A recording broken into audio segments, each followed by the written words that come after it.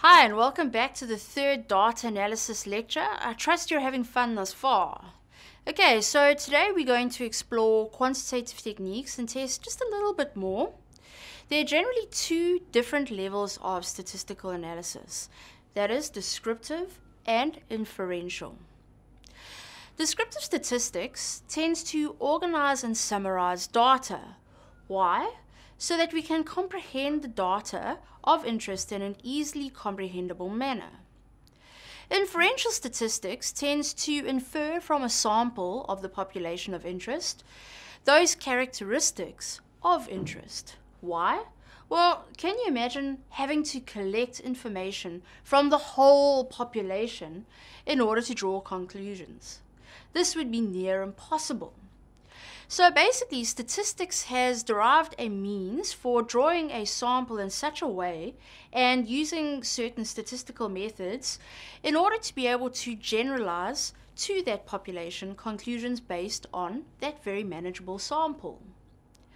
Right, so let's start with some useful data summary techniques. Basically, data can be summarized by looking at three things. The first is the shape of the distribution. The second is the center of the distribution, or otherwise known as the central tendency. And then the third manner is by looking at the spread of data. All right, so I mentioned, first of all, the shape of the distribution. Okay, now the shape of distributions in statistics is very important. It is this very symmetrical bell-shaped curve that looks a little like this that underlies a lot of our parametric tests. This distribution is known as the normal distribution, and it allows us to make inferences about the population based on our sample. Basically, the shape of the distribution is important and can be defined primarily by looking at two things, the skewness and the kurtosis. Skewness indicates where the bulk of your distribution of counts lie or your frequencies, whereas the kurtosis indicates the degree to which the scores cluster at the end, ends of the distribution. The ends of your distribution are known as your tails. Your kurtosis also indicates how pointy the distribution is. A normal distribution will have values of zero for both the skewness and kurtosis. The second manner in which we summarize data is by looking at the center or the middle of the distribution. It's most commonly measured using what is known as the mean, the median, or the mode. Again, our level of measurement of data determines the type of measure of central tendency that we will use. The mode is most commonly used for nominal data and basically refers to the most frequently occurring score. The median is most often used for ordinal level of measurement and possibly interval level data and denotes the process by which we sort all of our data from the lowest to the highest numbers and then literally find the middle score.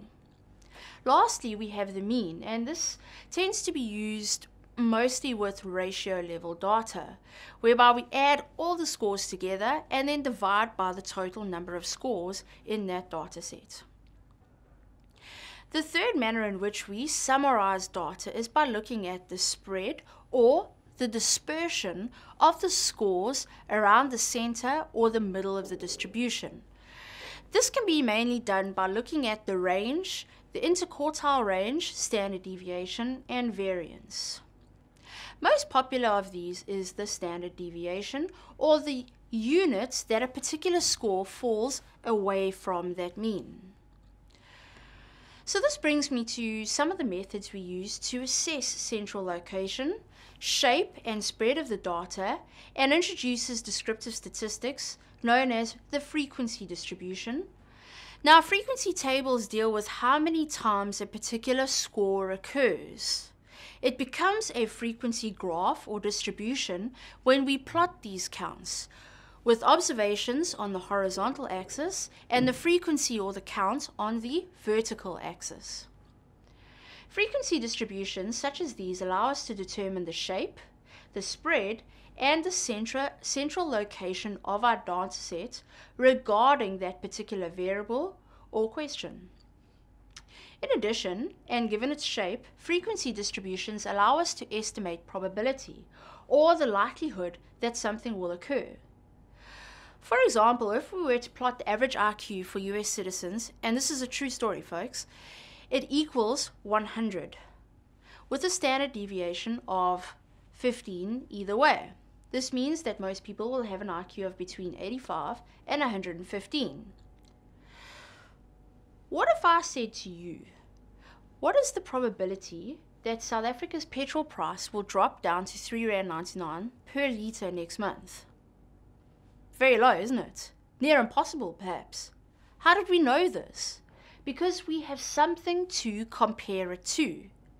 In the same way, we can look at the frequency with, with which something occurs and use that to estimate the probability with which something will occur. So we look at that person or that measure and its position in relation to the rest of the scores.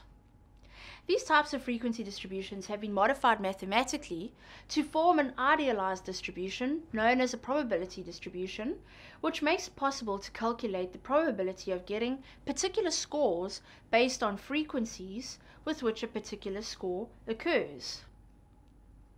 So when we collect data to test our theories, we are basically implying that the probability of obtaining a particular set of data if, hypothetically speaking, the null hypothesis was true. Right, if we move away from descriptives or the summarizing of data as a whole to say something general about the world, we use what are known as inferential statistics. Inferential statistics tell us whether the alternate hypothesis is likely to be true. They help us to confirm or reject our predictions. Crudely put, we fit a statistical model to our data that represents the alternative hypothesis to see how well it fits in terms of the variance it explains. If it fits the data well, in other words, it explains a lot of the variation in the scores, then we assume that our initial prediction is true. We gain confidence in the alternative hypothesis. Of course, we can never really be completely sure that either hypothesis is correct, and so we calculate the probability that our model will fit if there were no effect in the population. In other words, the null hypothesis is true. As this probability decreases, we, great, we gain greater confidence that the alternative hypothesis is actually correct and that the null hypothesis can be rejected. This works provided we make our predictions before we collect the data. We then need to present continuous interval and ratio level data. It's more preferable to use histograms in these instances than frequency graphs or distributions. Line charts are particular types of bar charts but with lines instead of bars. We use this option when you just want to see the means of scores across different groups of cases, or where we want to plot the means of a particular variable um, over time, it tends to be. Right. A scatter plot is simply a graph that plots each person's score on a variable against their score to other variables. A scatter plot tells us several things about data, such as whether there seems to be a relationship between the variables, what kind of relationship it is, and whether any cases are markedly different from other cases. Basically, when we talk about inferential statistics, we're looking at tests such as ANOVA, Kruskal-Wallis, t-tests, uh, Mann-Whitney, and so forth. And we need to check, and when we need to check for differences, we look for uh, tests such as chi-square, which um, chi-square, on the other hand, which tests for associations. An example of differences here would be, is there a significant difference in the number of headaches between people who take Panado and people taking sugar sweets as a placebo? These tests all deal with individual scores. However, we also have instances where we have paired data. For instance, the numbers of cups of coffee and the level of alertness. These types of data and the strength and direction of the relationship between the variables is measured more formally than scatter plots through what are known as correlations and regressions and with continuous interval ratio normally distributed data we use the Pearson's correlation coefficient. However where the data is categorical um, this is usually in the instance of ordinal and nominal level data we use Spearman's rho now regression not only shows us the general trend between the variables, but also allows us to make predictions using what is known as the line of best fit or the regression line. Again, regression requires that certain assumptions be met in order for output to be accurate. So there are multiple tests and assumptions available to you when you are at that point where you are analyzing your data you will need to pay due cognizance of these requirements to provide accurate and relevant output. And you need to consider these factors when designing your data collection instrument. If you're doing a study that requires ANOVA, don't collect nominal and ordinal level data. Don't use closed-ended Likert scale type questions as you will not be able to run an ANOVA. Furthermore, and as mentioned in previous video lectures, you will need to dovetail all of your findings with the literature. Remember, quantitative analysis about, is about testing theories. Well, you need to mention how your findings support or refute these existing theories and then discuss it accordingly. Just presenting statistics is not analyzing them, it's the presentation and discussion thereof that constitutes an analysis. In addition, never be afraid of admitting to having done something wrong. If your sample size was, for example, too small, don't be afraid to admit it. You cannot critique a person who has already admitted to the shortcomings of their study.